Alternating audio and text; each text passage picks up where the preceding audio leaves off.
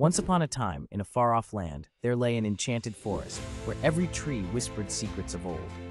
Within this mystical realm lived creatures of wonder and magic.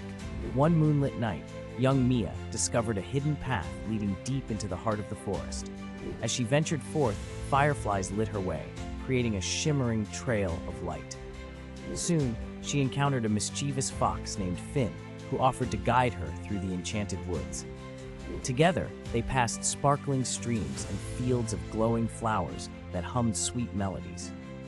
As they journeyed, they stumbled upon a grand oak tree, its branches laden with shimmering crystals that chimed like bells in the gentle breeze. At the base of the tree sat a wise owl named Orion, who shared tales of ancient wisdom and kindness. With each step, Mia and Finn learned valuable lessons of courage, friendship, and compassion. Finally, they reached the heart of the forest, a place where dreams took flight and hopes blossomed like the vibrant flowers that adorned its sacred glade.